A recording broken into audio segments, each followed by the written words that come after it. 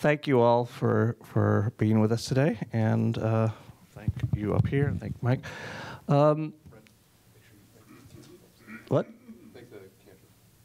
And thank, uh, absolutely thank Cantor Film Center and all the people up there. Uh, and Mark too, and, and Stephanie. Um, I thought this was a good opportunity here at the end to, to just kind of bring thoughts together, but but eventually I want to start talking, and I want to start talking with all of you about about short of the corn thresher, or maybe for those of us who won't be able to get a corn thresher, what what a good death might be within the system, or even if what what it would take to change the system. But Sam, you, you had some stuff that you wanted to talk about first, and Yeah. we can. Um, thank you. Hi.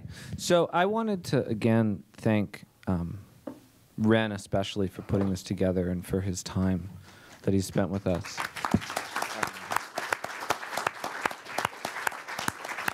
Um, but I, I wanted to also talk a little bit from the perspective of, of where I'm coming from. As I mentioned earlier, I'm, I'm the assistant director of a research institute here at NYU uh, called the Institute for Public Knowledge.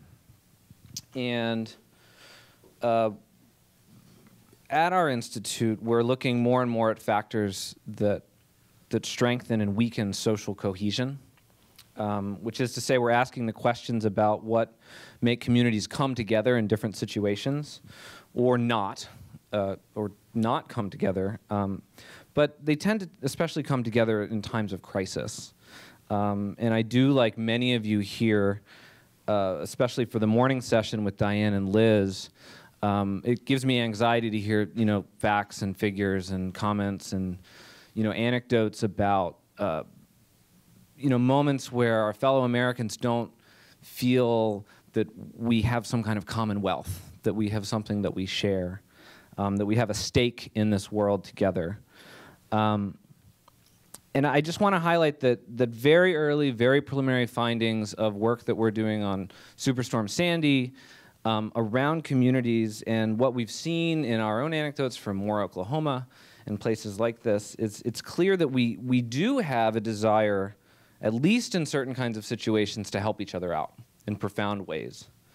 Um, and it's just that we don't look at all issues and all people in the same way. We don't look at suffering or the, the suffering of any individual, indi- any individual in the same way, irregardless of the circumstances that brought them to that point of suffering. Or, in the case of what we're talking about today, that point of death. And I want uh, you just to consider the, the way that we look at day to day gun violence, um, a sickeningly banal phrasing of moments of individual suffering and tragedy, versus the way we look collectively at school shootings or other mass atrocities. We have different ways of processing this information. Um, and, I- and I bring this up because I want to introduce the idea that how we talk about phenomena matters a great deal. Um, what we pay attention to matters a great deal. And of course, that the exceptional moments of suffering, which get the vast bulk of our attention and resources from a political perspective, they overshadow the constant, to become acclimatized, or I should say that they overshadow the constant grinding tragedies that are occurring hourly, daily, yearly. Um, and I believe that this kind of consciousness is part of the human condition. That to become acclimatized to the systems in which we're embedded and to jump up in moments of exception, this is part of how we survive in a very complex world. But I think if we're clever and we're thoughtful and we're strategic, there are things we can do to bring more attention to the moments of individual suffering and the system that is currently set up to create these moments of suffering. So I just wanted to react that way.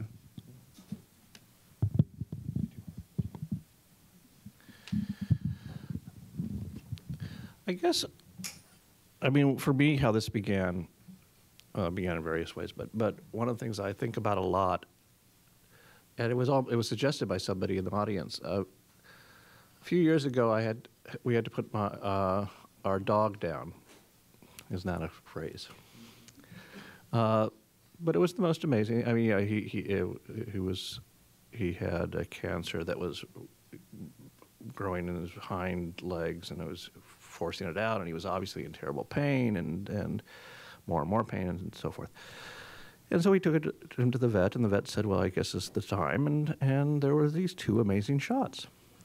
You know, one shot knocked him out, and the next shot, a minute later, stilled his heart.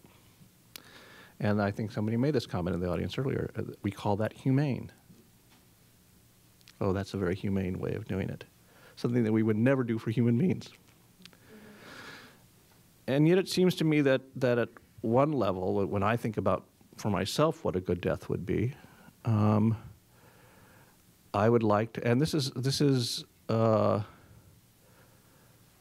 I, I would like to think this is a little bit along, along the notions of the knowing about your stroke 10 minutes before you have it. But, but there will come a point, I imagine, in my life where, where things, i- i- unless, unless I die suddenly and, or, you know, hit by a car or something, but where, where um, it'll be time.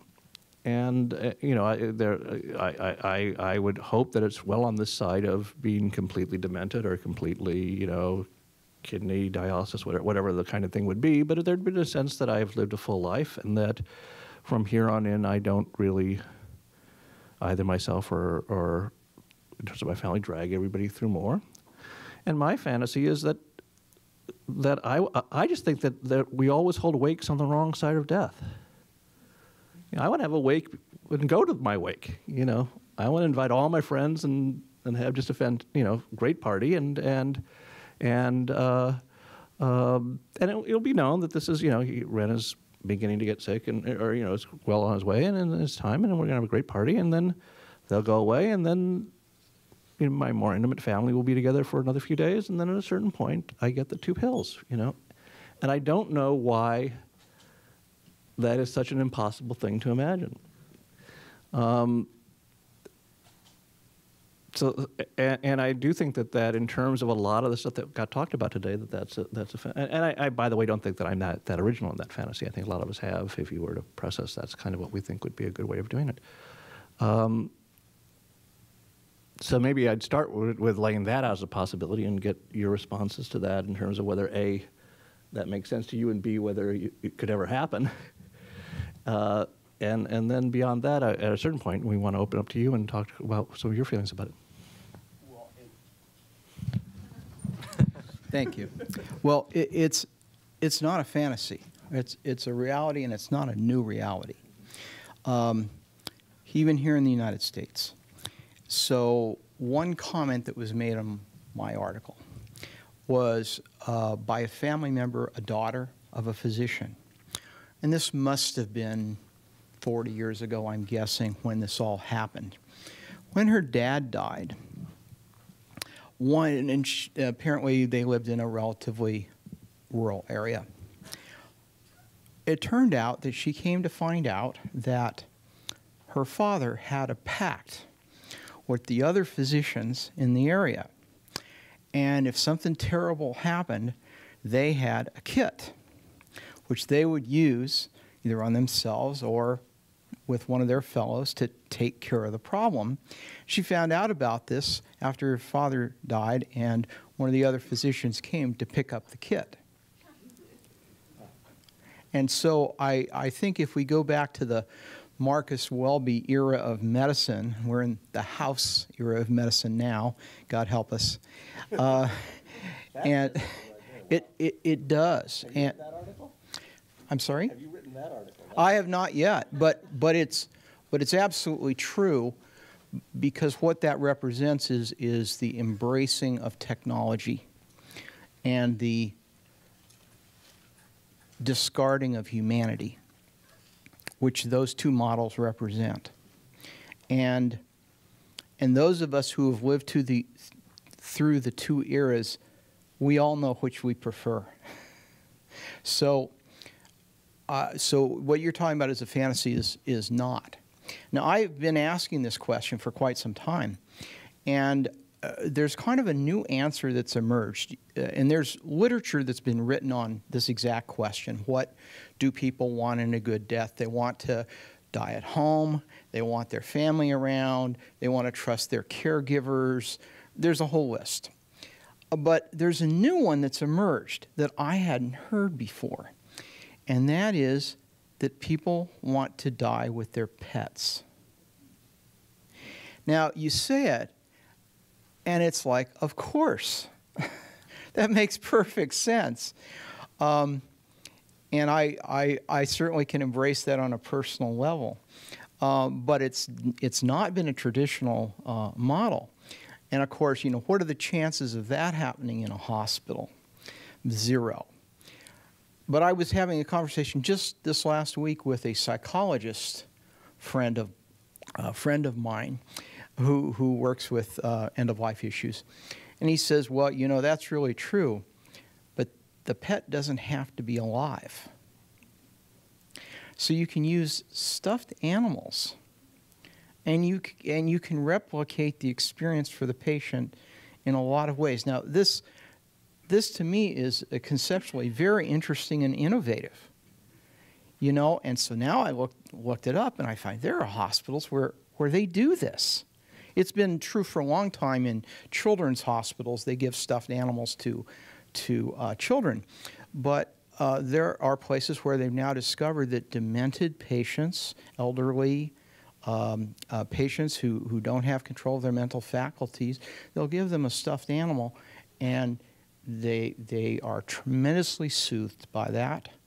They may have to they may be able to completely avoid chemical sedation. It completely changes the experience. So I think it's these innovative possibilities that present themselves that can tremendously enhance our personal experiences. I want to see the proposal in the National Institute for Health about dolls for, for, for patients. Did you have any thoughts yet, or? or uh, you- you- Okay, you'll wait a, wait, wait a minute. I should, by the way, mention the, the, the dark side of my fantasy is, is uh, since we are a humanities institute and we do want to give you some education in humanities, quote unquote, besides medicine, is the death of Petronius. Do you know about, about that? Petronius is the guy who wrote the Satyricon, and in his day job, he, he uh, was the arbiter of games for Nero which meant that he had to come up with a different orgy every every Saturday night, basically, um, and you know some more and more amazing, demented, debauched orgy in each one. And at a he was just bored out of his mind doing this, and so he decided he was going to have the all-time great uh, event this coming Saturday. And when people arrived, it was completely empty, except for a bathtub in the middle of the room uh, with warm water and with him in it. And he slit his his wrists and put them in the water. And people would come up to him, and if he wanted to talk to them, he'd wrap his wrists for a little while and talk to them. And then when he was bored, he'd unwrap them and put them back in. And then other people would come up, and he wouldn't even take his wrists out of the water. Like, uh, I- it performance art. Uh, I, yeah, I, I would rather be dead than talking to you. I mean, but uh, so, so for those of you who, who want to take a more demented view of my fantasy, there's that. what about you? What are, what are some of your thoughts from the rest of the rest, rest of the day, and, and thoughts about uh, how, how either for yourself? Let's let's go over there for starters. Uh, wait, wait, wait, wait, wait. We got a mic. We got to give you a mic. Stephanie, is this one?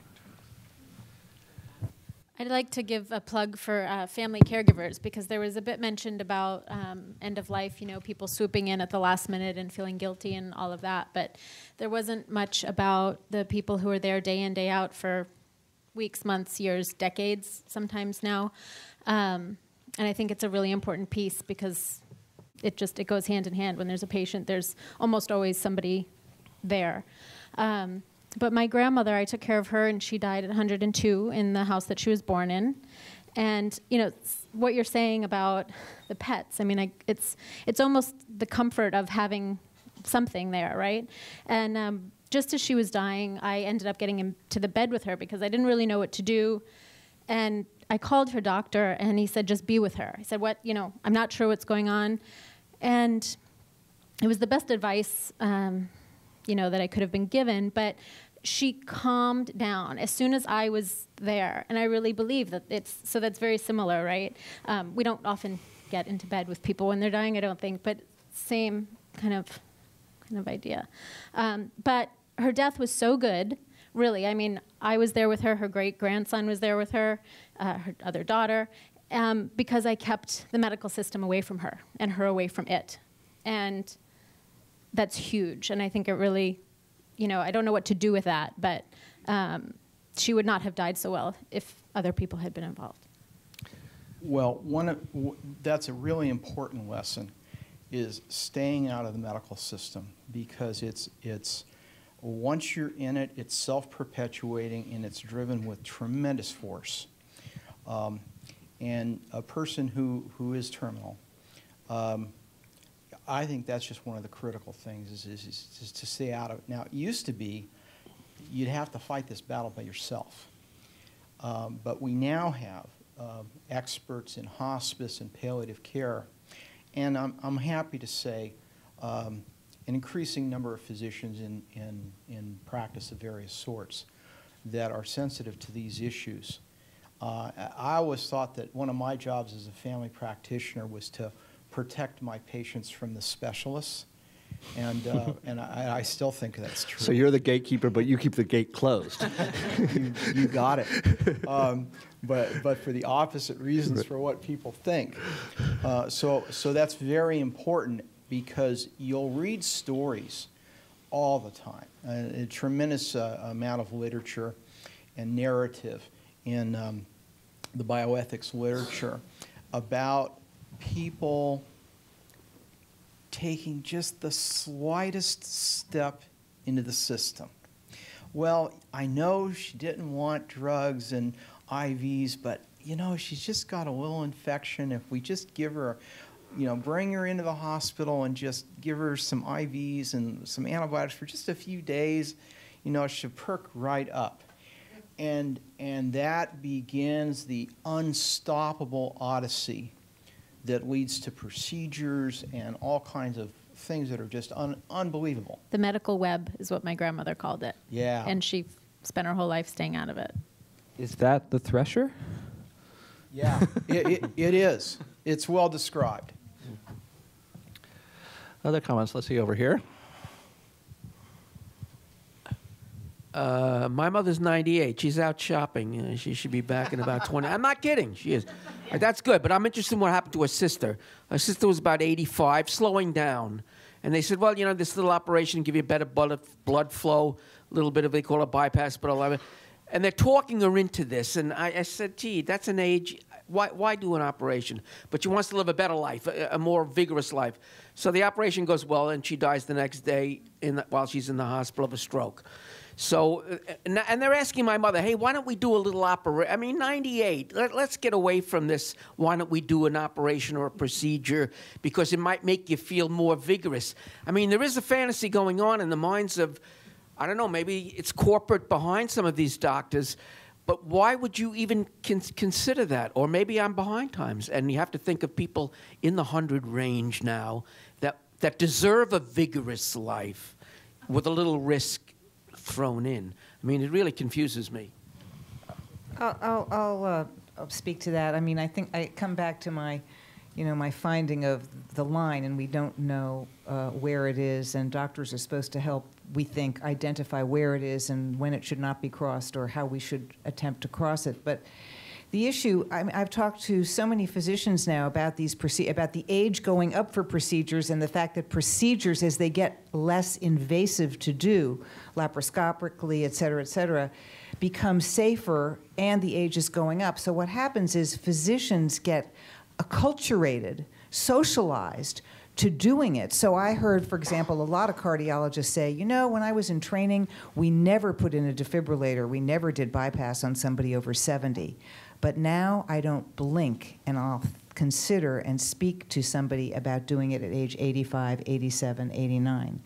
Because, you know, these things, it, it's so complicated because the results are often good, giving people a more vigorous life for however many years they have. But it's this problem of knowing in advance when who, who it'll be good for and to what extent, and we don't know. And this is why it's so hard to say no because we want to hope that it will it will be good. And um, Mike, I want to thank you specifically for your uh, hard work in your monologue. I mean, I think you um, were incredibly thoughtful, and um, I think everybody here really appreciated what you had to say. And you absolutely echoed what Diane Meier, who runs palliative care at Mount Sinai, said this morning. I'm not sure everybody was hear, where she said the system is absolutely set up to do exactly what it is supposed to, what it's doing today, and so it's successful in that sense. And it brings in the specialists. It rewards financially everybody who's in the system, the insurance people, the pharma companies who do the research, et cetera.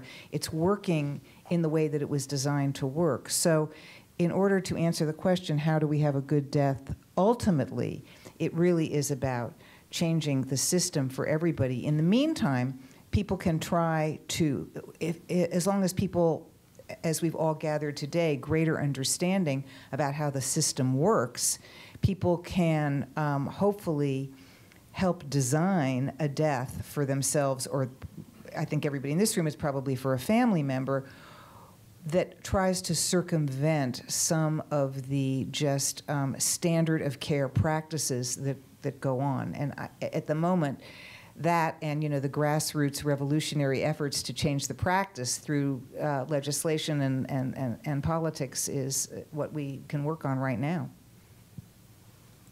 I'll see right there.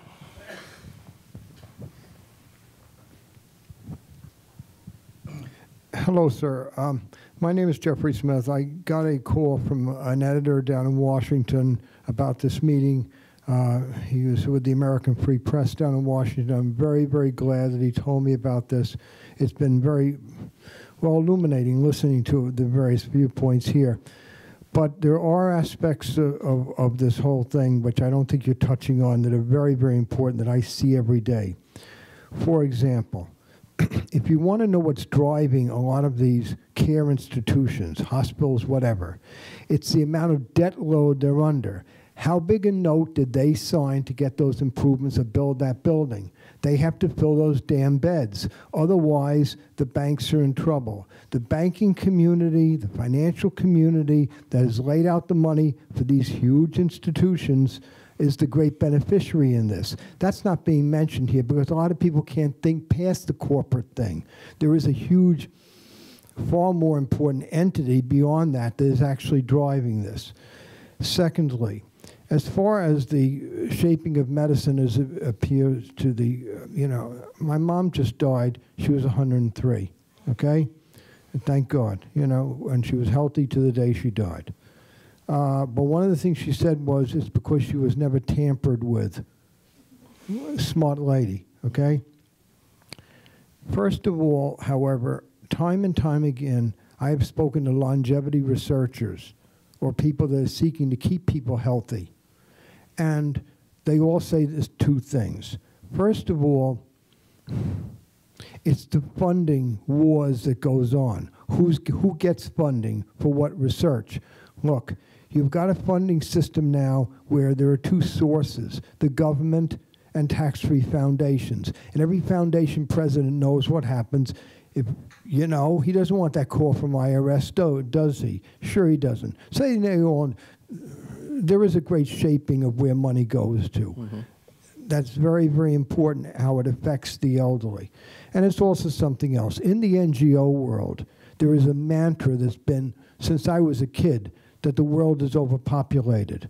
That's a kind of a poisonous element that has gone all through the funding and all through the thinking towards the elderly. Okay, there are that's generated a very unseen but very powerful entity here. So these are all things that I don't think have been touched on here, which, which I tell you I see almost every day in my writing. Uh, so this is the, the, these are all forces that are very powerful. But the other thing is, think about this. One, one more thing, because one more thing. Yeah. How many elderly people, and how many people generally, have left the pharmaceutical system because they found alternatives. Okay, mm-hmm. hundreds of thousands certainly. And the thing because how many people killed by pharmaceuticals? And the thing is what now you've got you've got a deal where they're going to be forced back into pharmaceuticals by Codex. Google Codex. See what's going on. I mean, what's going on here? How can this be? These are all the forces that are very, very powerful and I don't think you've touched on. Thank, you very thank much for your time, Okay, sir. thank you. Uh, a general comment I would make is that some of them, uh, this has been a whole series of things we've been doing, o- certainly over the last 12 years, and some of them, the banking system, for example, we've talked about in other places, and I do see them all fitting together, I agree with you in, in much of what you said. Uh, other comments? Let's see. Y- You first, and then you. So. Wait, wait till we're, we, wait, wait. Thank you.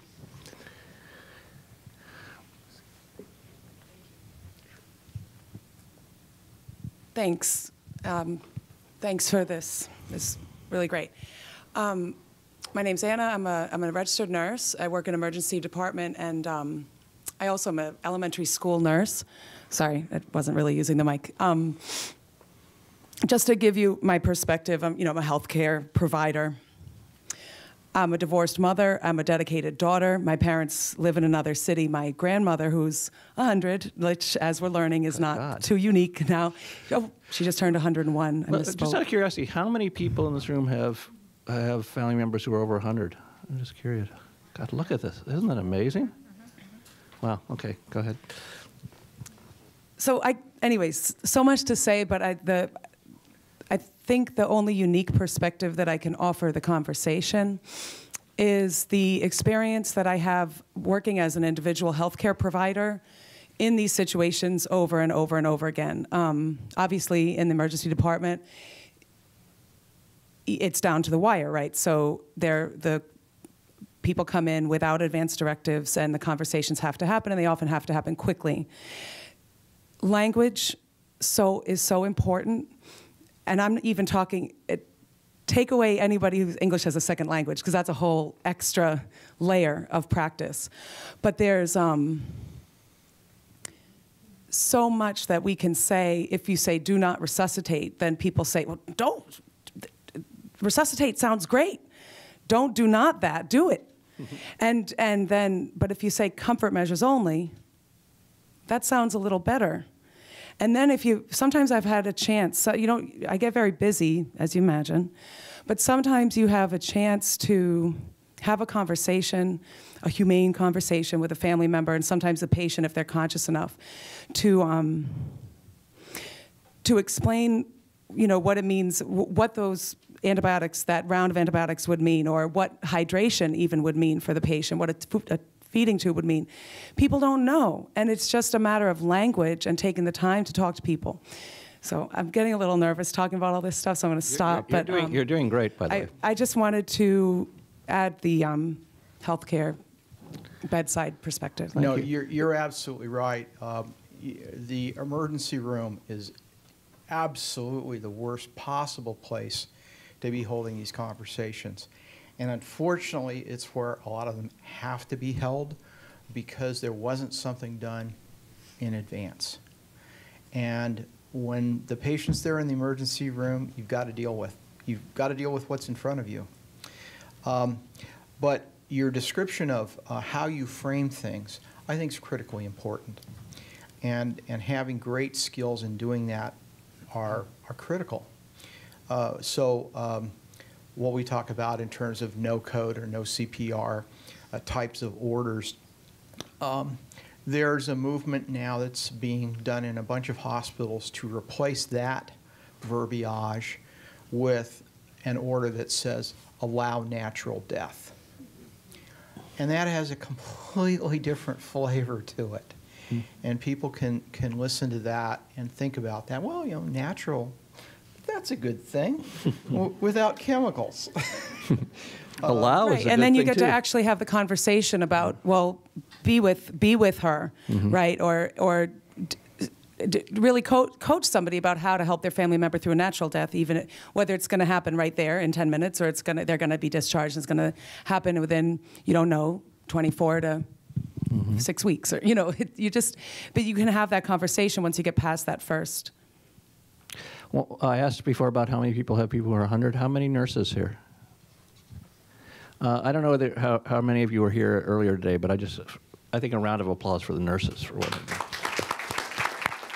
Ren, I, I I also, I just want to highlight that um, there are lots of very intelligent, very dedicated people who are working around this this question of how to have that conversation, where to have that conversation, and there are very good projects going on about that. And if you are interested in learning about that, there is the the, the conversation project, which is a, a great uh, resource if you do want to have this conversation with someone in your life, or if you want to think. About Can you describe what that is?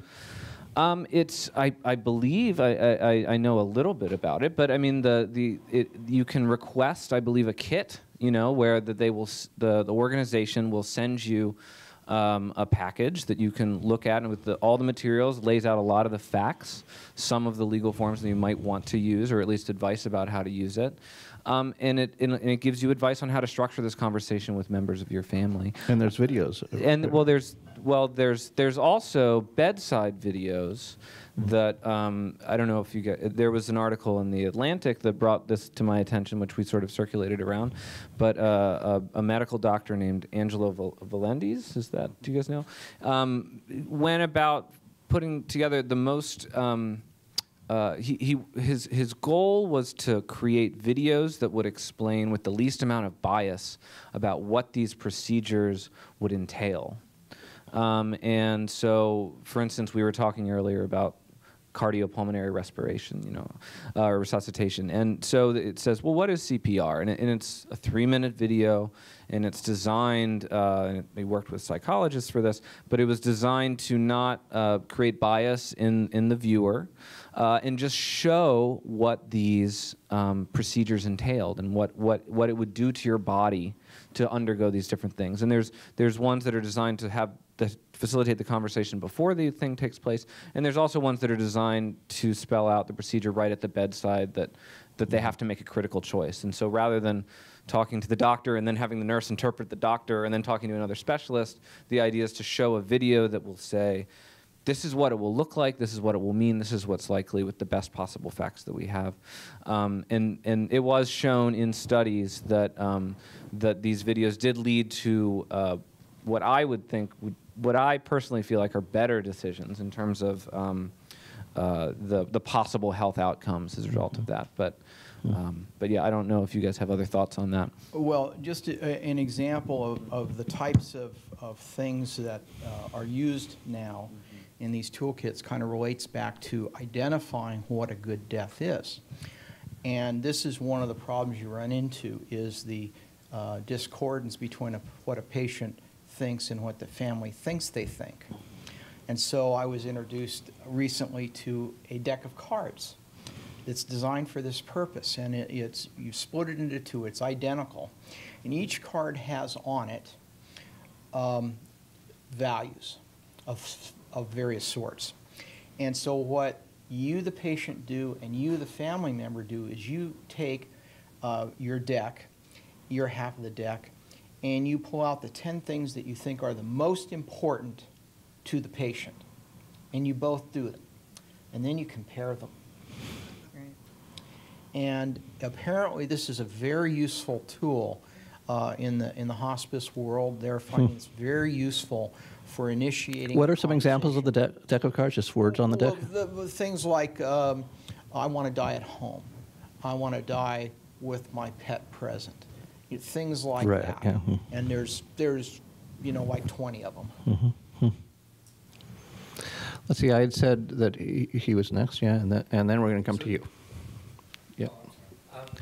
There's two things. First of all, I want to congratulate the people who put this together, that you have been able to retain all these people since 11 o'clock this morning.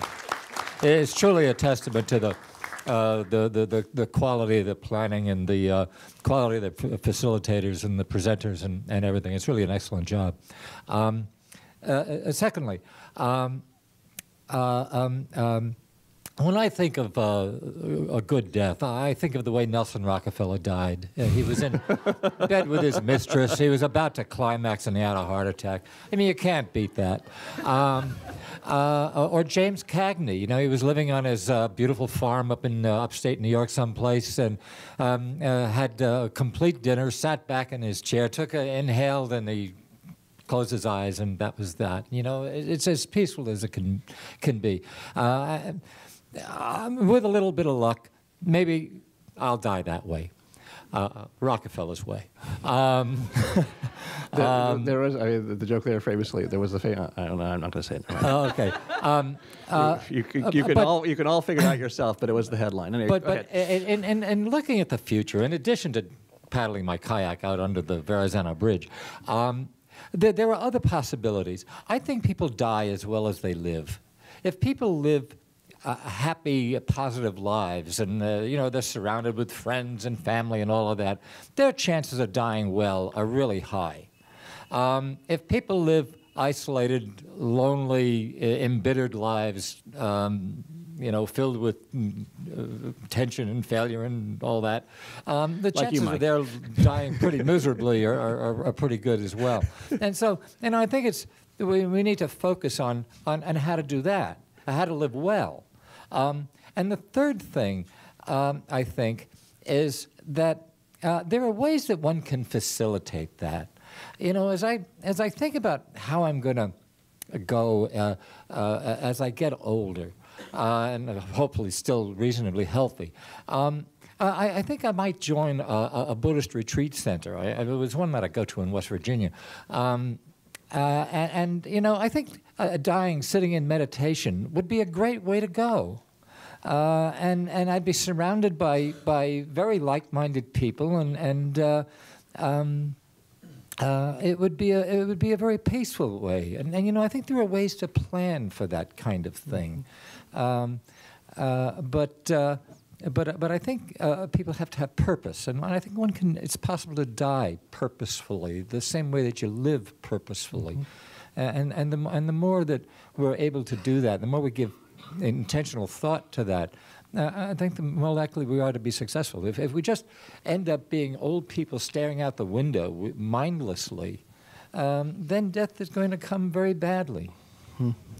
Thank you. Um, Let- Megan Marshack was the name of the woman with uh, Rockefeller, and and the great Please, people. and the great and the great mystery that occurred was when he died, she kind of disappeared for about a week, and nobody could find her anywhere in America, and not many people knew that she had a brother who was a medical student. In fact, he happened to be a student in my class at Davis. And so, two days after the whole headline thing hit, there's this woman sitting in our classroom. And it was Megan Marshack sitting with her brother and was there for several days. So now you all know. Wait, d- d- does that mean that, that you killed Rockefeller? uh, let's see. Where are you? Over here. Unfortunately, we don't usually get to choose how we die. Uh, we can't forget that. Um, but that's not what I want to talk about. Uh, in addition, well, first I should say that. Um, Is it work? is it? Yeah. Is this okay? Nine years ago, my husband had a traumatic brain injury, which left him uh, like somebody with advanced Alzheimer's. For the first six years, I took care of him myself. For the last three years, he's had 24 7 care as he has deteriorated, the way people with um, degenerative brain disease do. Uh, and um, he's wonderful. Other people wouldn't recognize that, but I do. Uh, my one of my great purposes is to keep him out of the hospital, and it is very difficult. Um, we have all of those papers. He had fortunately, oh, I should say that when he was in the emergency room uh, or the trauma center after his accident, uh, the doctor he had broken all his ribs and his feet and punctured both lungs. I mean, he was a wreck, but he had multiple clots on his brain. And the doctor, the head of the trauma unit, asked him if he would want to be kept alive if they uh, felt that he wouldn't be able to re- be returned to a normal, independent life. And he said, no, no. And he repeated it. But here we are nine years later, and um, he's with us. Uh, and I, I, I'm not complaining about that. I think actually his life is kind of happy. Um, he, uh, but repeatedly he has almost fallen into the hands of the hospitals. Now, in addition to the advanced directives, there's something called a non hospital DNR, do not resuscitate, which um, I keep with me always. I keep all of the advanced directives in my purse for both him and for me. but this this is written by a doctor and should serve to prevent 911 callers on the street say. That's my great terror that he'll be out with his caregiver he'll fall some uh, his caregivers are completely um, in tune with our plans, but some passerby, somebody on the street will call 911, and that will be the end of him. Um, it's well known that people with dementia who go into a hospital, even very briefly, wind up two stages worse permanently. You're nodding, you know this. People don't know this. Uh, it's the worst thing in the world to, to take a person with dementia into a hospital. Um, mm. So uh, once, when he was uh, several years ago, when he was in a violent stage, the um, police came to our apartment, and even though I'm his spouse, they were they insisted on taking him to a psych ward. Well, I was able to stop them. I won't tell you how, but that is always. That's better than the headline. How did you? it's a great danger. Well, I called my son. My son came and was also forceful. And then one of the police people, a woman, came back to the door and said, "Don't." Ever say that there was violence or they will take him away. Say he had heart palpitations. And so there, I mean, there are many, many tricks hmm. for, but. That's a metaphor. yes. Um, but my point is that no matter what plans you have, it's not so easy. It's like a full time job of vigilance to carry out those plans. And these fantasies about what a good death looks like are just that. You don't have control. There are um, something like I've forgotten how many million, many millions of people in this country who are, have um, dementia and who are cared for by family caregivers. Uh, and they are the ones who are going to do a lot of the decision making about death and end of life. It's not, we've spent the whole day talking as if it's the patients who are going to decide. It's not likely to be the patients who will decide. Mm-hmm. I guess I could go on forever, but I'll stop there. Thank you.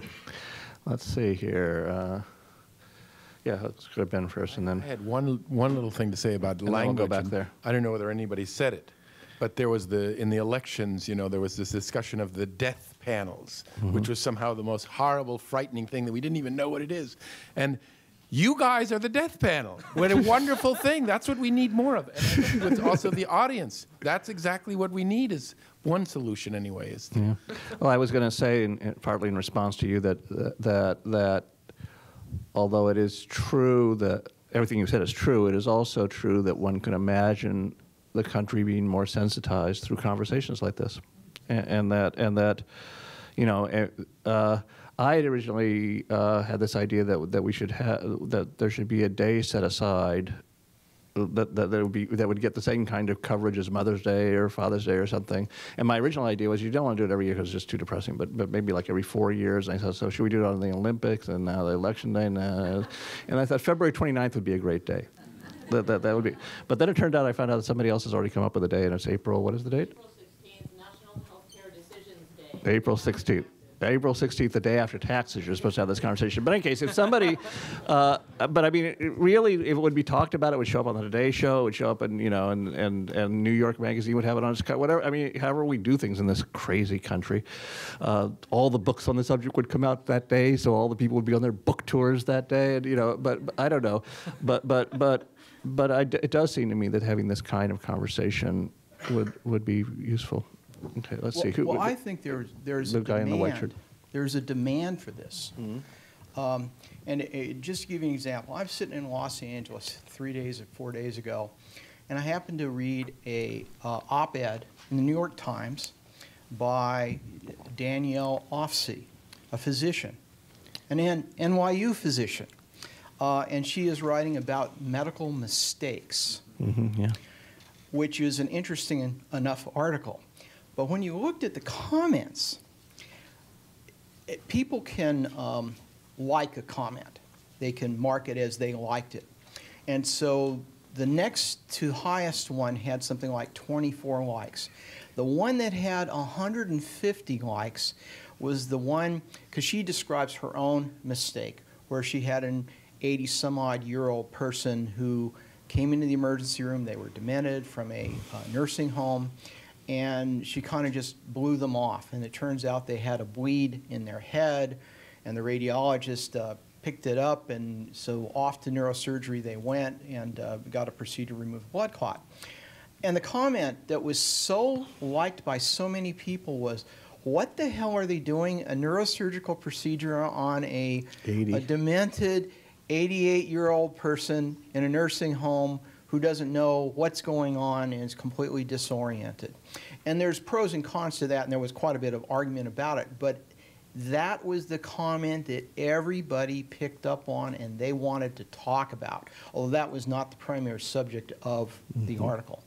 And so uh, I just feel a pressure out there. And I feel a pressure from those people who are speaking that they want to talk about this. And this is a real change in our culture. Let's see, over there, you got the phone? Yeah. Yeah. So uh, your original question was, uh, how could I imagine my death? And I guess Or a good uh, death. Good death. Thanks. So at this age, it would have to involve some amount of heroic self-sacrifice. Mm-hmm. It would have to be a trading of my life for another person's life. If I got to a point where physically that wasn't uh, available to me, or let's say I was charged with protecting other people's lives for a number of years, children, uh, then uh, I think that I would have to have a pact with someone uh, where we would kill each other, and it and it disturbs me that that's still so illegal, you know, so many years after Kevorkian being put away. Ah, thank you. Uh, and if I have a little time, I would like to cede it to this woman, and I would like to ask her now that it's your job, in a way to to imagine a perfect death for your husband. Do you have one? Let's give it back to over. Perfect, probably not, but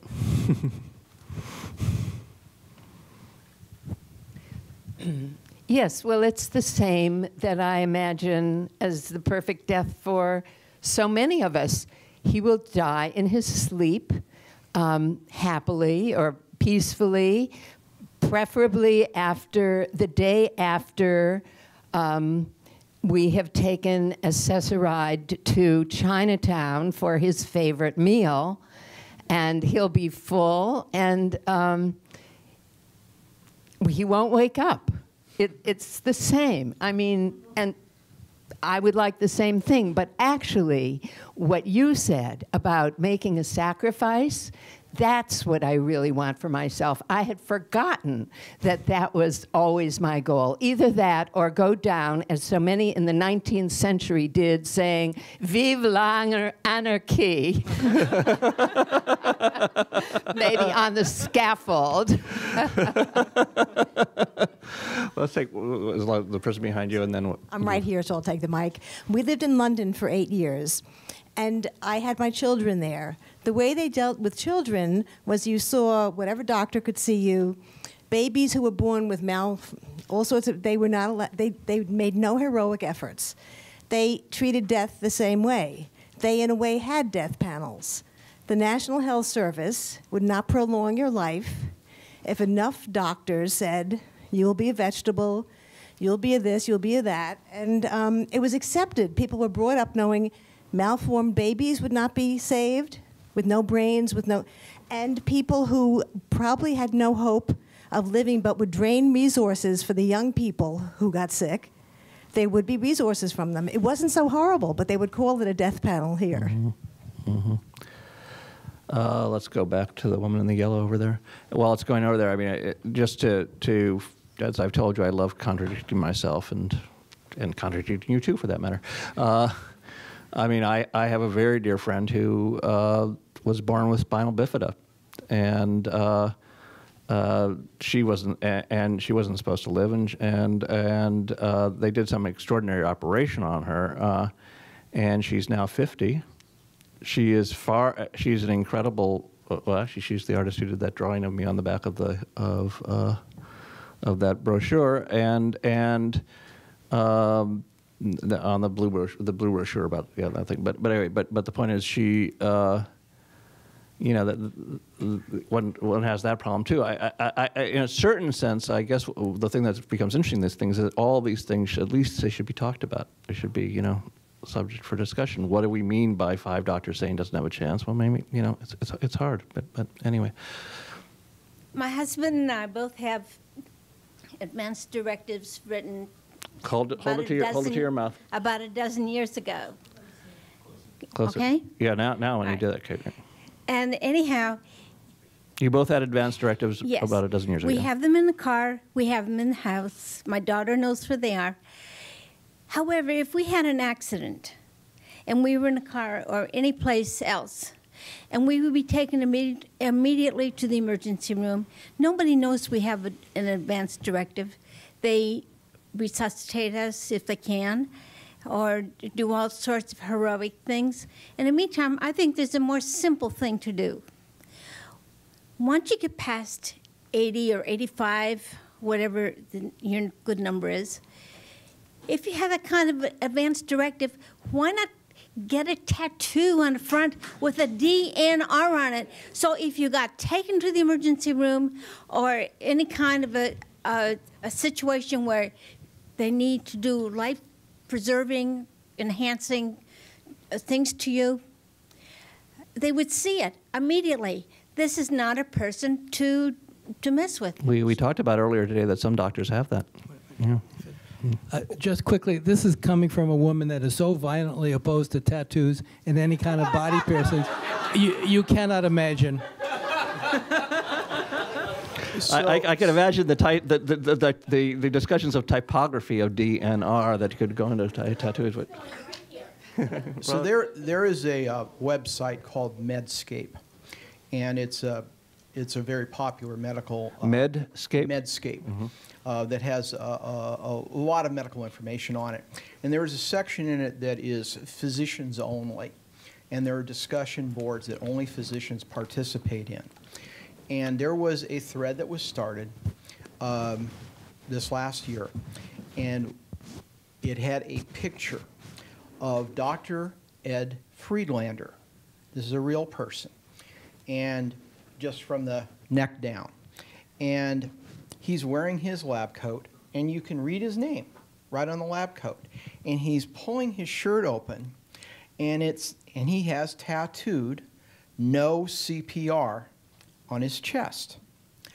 And the question asked in the thread was Would you do CPR on this person if they went down in front of you?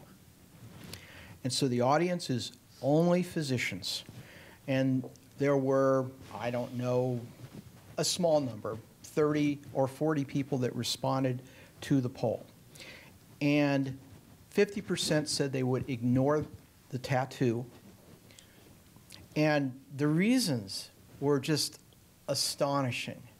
Um, CPR were the initials of his ex wife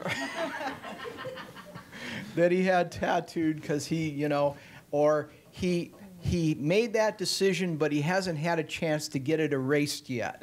and uh, I mean, the things that were contrived were unbelievable, but half of them would ignore it if it's a physician, and you can't say a physician doesn't, they don't understand the implications of CPR or not doing CPR. So that's the, the setting. So even with physicians, a knowledgeable person making that choice, they would ignore it. And that. so, so maybe it's not kill the lawyers; it's kill the physicians. Yeah. I, I want to re- respond to that uh, for, for a second and just respond to the discussion earlier when all you were up for the radio lab. Um, and and that doctors are the uh, natives in the system, so they know what's going on, so they don't want to die in the hospital. You know, ac- actually, I've been collecting essays. I'm not sure why, but for a number of years about doctors who say that absolutely, I don't want to be hospital. But then they have written personal essays in the narrative section in Health Affairs, which is the leading health policy academic journal in this country, saying, I, of course, wouldn't want to be hospitalized myself, but I have to tell you what happened when my 97 year old demented mother, who's been on dialysis and has four other chronic conditions, went into cardiac arrest. I did everything I could to save her. And there's a number of physicians who are now writing about this, their own contradiction. And they feel that the impulse to try and save another life or to try to do something to prolong the life of someone you care about and love is so fraught with all kinds of guilt and everything else. And it- it's, it's fraught also, as I mentioned before, with this problem of the ethical offloading. It's, we don't have paternalism in, in medicine anymore. It's we, the pendulum has swung from the period of the 50s, 60s where doctors knew best. Patients were much less educated than they are now about health affairs. There was no internet. You couldn't Google, you know, a rare disease or anything else. And the doctor made the decision, and of course, death was never spoken at all. And we've swung from that to the health consumer movement and all of this, and, and autonomy being the primary value, and taking control of your life and your illness situation, and having to be responsible for your own care, self care, and that of your family. So that there's this huge ethical burden on patients and families to try and figure it out. And the doctors, uh, in many times, just say, here are your options, now you go decide. And because there are so many options, from the most aggressive care to to comfort care, people are really, really confused. It's it's it's very hard to work its way out, and I think we need um, better better language, as you were saying earlier, from health professionals. Uh, uh, about how to how to walk through the minefield, and I think that's one of the reasons that doctors themselves have so much trouble in saying no to um, uh, uh, keeping very elderly, frail family members um, having their lives prolonged. Let's see over here. Right there, yeah. Mhm.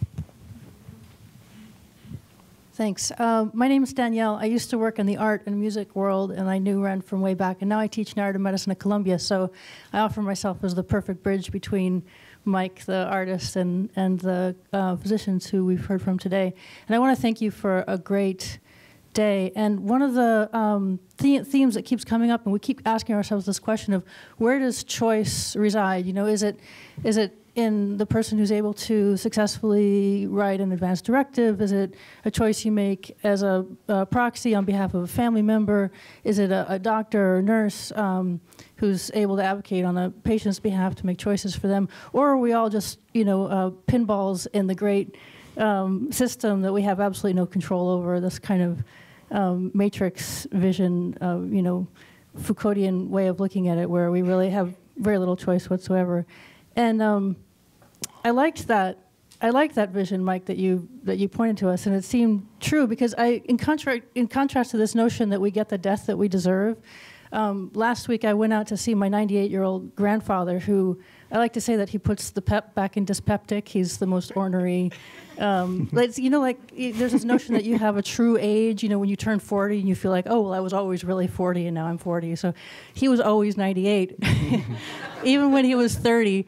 So I went out to see him, and I usually I bike out there, even though he lives all the way in Bayside, because it's so unpleasant to actually talk to him that I get there and I'm really tired, and I look forward to going to this diner that's in a strip mall near his house, and I get a you know corned beef sandwich, and and I went out to see him, and usually all he talks about is is taxes, and um, this time he didn't even get to ask me about you know what what kind of for schedule thing do I file with my taxes uh, because when I was there he died, and it was by all accounts this is the question you're asking about you know a good death. It was the best death uh, you could possibly ask for. He was surrounded by me, my crazy uncle, who's a messianic Jew, and my and his partner, who's maybe his girlfriend or maybe not, and he died. And it was very natural. There wasn't anything sad about it, but he didn't deserve it by any means whatsoever. Damn. I, that's a terrible thing to say. He's my flesh and blood, you know. But so then I came home and it was the first death I had ever witnessed. I'm not a physician, even though I teach narrative medicine. And uh, the next day, a mere 18 hours after this event, I'm in my apartment. I have my family over for brunch. There's a knock at the door, and it's the building people coming. They want to know if I've seen my elderly neighbor, uh, who had to have been at least 80. She's a sweet old French lady. I hadn't seen her. They had to crawl over my balcony to get into her apartment, and it turned out, and this is horrible. I'm sorry to add to the macabre element of the day, but she had died. she had, I'm sorry, she had died three days before, and so she died alone. And she she didn't deserve to die alone. She had a very loving family, and she was the sweetest person you could ever meet. And it was just horrible, horrible, horrific because, I mean, it turned into this whole spectacle. You know, the smell was terrible. So anyway, I just offer that up as a, as a, Hmm. as an, as a. oh, So, so what, Some what- kind of cautionary tale. I'm a cautionary sure. tale. But just, just to wrap up, I didn't know what to do with these two events. I didn't know how to create a narrative about what had happened or to extract any meaning from it. So, of course, I posted on Facebook that the two things had happened and hoping to find some crowdsourced meaning from it. And, uh, and I just said that the two things had happened, and then I said, what the hell is happening? Because I had never really dealt with death before, and these two things happened within the space Wow. of you know 18 hours. And um, my aunt posted, and she said, "Well, life, baby, life is happening." And I thought, well, all right, that's that's that's as much meaning as I can as I can Life, as I can baby. unpack from Life, this. baby. Life So, is happening. There you have it. um, your story reminds me. Let's see. Let's let's go over to over here next. Uh, yeah, but but while it's going over there, yeah. About while it's going over there. Uh, I had a junior high school biology teacher who's named Mr. Goebbels, actually, and his favorite thing was to get us all riled up because he would describe these weird tropical diseases you could get, and you would die, and the whole class together would go with him. A miserable, horrible, suffering death. And, and then, you know, the, the worm goes inside your ear and goes out your nose and goes into your eye, and you die a miserable, horrible, suffering death. And several years later, we heard that he died a miserable, horrible, suffering death, and we were all so happy for him. Anyway. I've been a healthcare professional for nearly 40 years, and to establish my cred, uh, not to sound like I'm bragging, I've been the executive director of a hospice. And I also now do a lot of public speaking on health and fitness. I speak a lot of uh, to a lot of seniors. I'm on the speakers bureau for the Alzheimer's Association. And uh, one helpful thing I would give to everyone if you have not had the discussion with uh, any of your family members, and let me caution you to say that it's not those of us in this room wanting to have the discussion with our parents who are still living. And by the way, no one in my family has made it out of their 70s. but I just want to say. person here who can say. I just want to say that eh, not only should you think to have this discussion with your elderly, dare I say that word, parents, I also want to encourage those of you with kids to have that discussion with your own children. If having that discussion is difficult, there is something called the five wishes, which you can Google. Um, I've written about it on my on a blog I write, uh, a healthcare blog. Google it, and it's a very good jumping off point for you to begin the discussion if talking about end of life issues is something that you find difficult or that you know your children will find difficult with you. Kids, I want to talk to you about what I want. Oh, Ma, don't talk about when you're dying, you'll live forever. Um, as far as a good death goes, my goal is to uh, compress. I'm living my life in a way to compress my years of disability. I talk to seniors about this all the time, and I do hope to one day just drop dead. Uh, and which is, you know, the we used to say in the hospice game, protracted illness is very bad for the patient, very good for the family and sudden death is very good for the patient and very bad for the family. So just plan ahead and make sure that the people that you love know what you want. And if you're lucky, you will get what you want in terms of your health care issues. If those are, uh, if your desires for what you want at that time, and if you're lucky, you will have those wishes met for you. Well, listen, why don't we take one, one more? Uh, do you want to be the last one? You, you, no, now she's upset. We'll, we'll, we're, we're gonna let's take let's take. Well, we we will vote whether to do one more after her. We'll see. Okay, well, we'll wait for the. Um, I have a telephone that is uh, protected. If, if somebody picks it up, they can't get into it unless they have my code. But it does have a little corner on it that says "in emergency call," and it's supposed to have my ICE um, information hold, and so hold on. it closer to your mouth. Yep. My the ICE information. So somebody who picks up my phone should be able to find out, you know, who who to call to take care of me.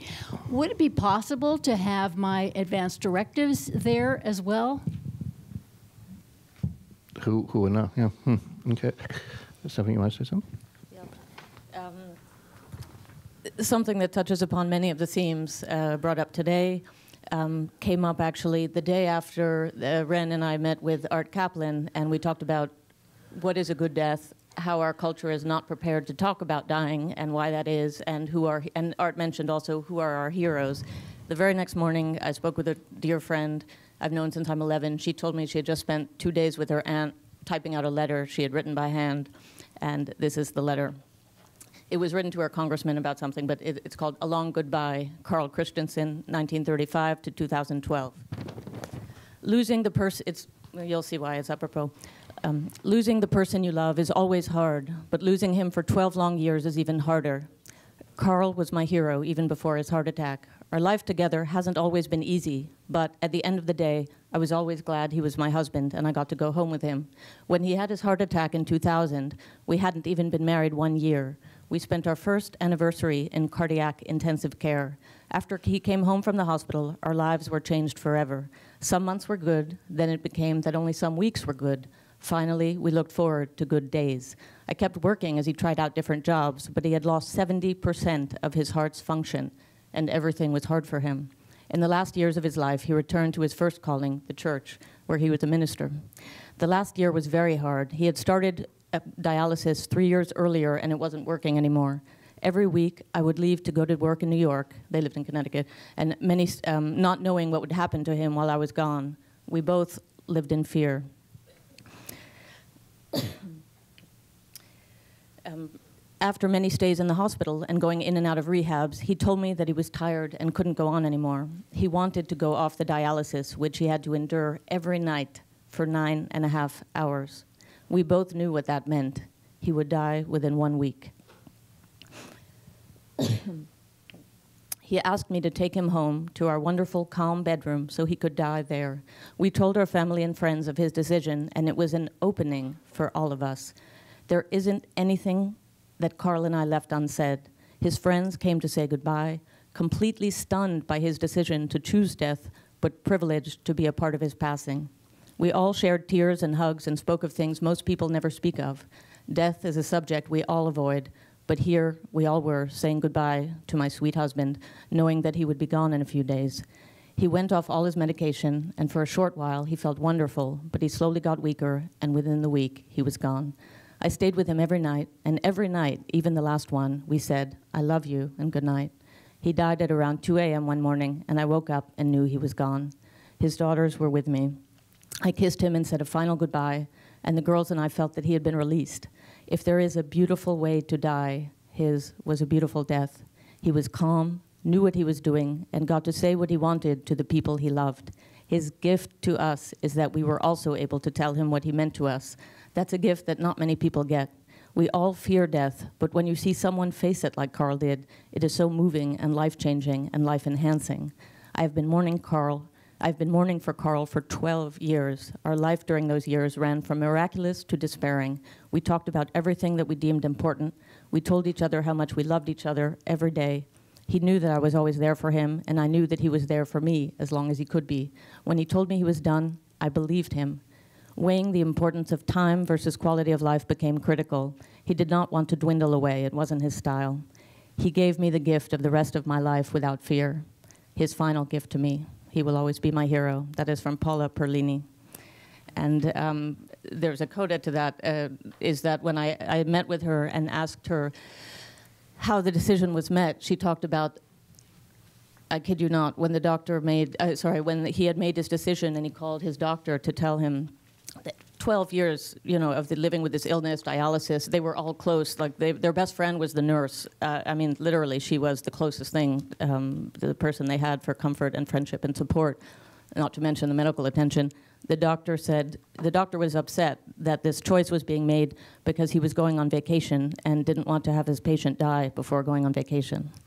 And the, um, meanwhile, the nurse whom they called to share the news with, she was, I forget exact words, but something that uh, she was happy for them, relieved, and felt, you know, asked, basically asked to be there. She wanted to be there. I mean, she almost wouldn't take no for an answer, and they wanted her to be there, and she was.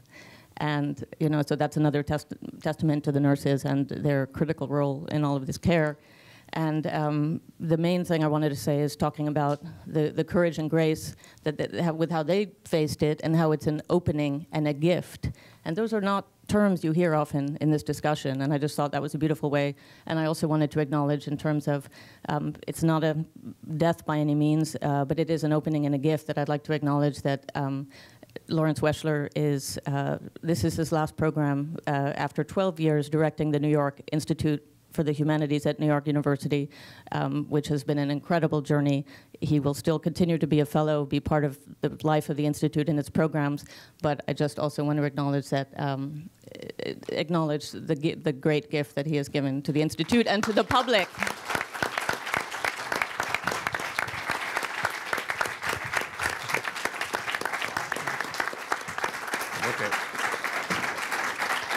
Thank you, thank you. Uh, okay, well, uh, I guess we should wrap it up. Uh, as I uh, from from this conversation, uh, from this whole conversation with all of you, uh, two two things come out to my mind. It's life, baby. It's life. Uh, but the also thing, that the very first thing at the very beginning, the just be with her. That that. That I mean, if you t- just take that slowly, just be with her, and the quality of what it is to be with people, to be being with them, and and how that is completely different from all the technology and so forth. That that's exactly what the medical machine can't do. The medical machine, the t- technology, the thumping, they can't be with you, but we can be with each other and in a less exalted form, I would just say that it's been uh, my honor and my delight and my complete playground to have uh, been with you over the last 12 years. So thank you.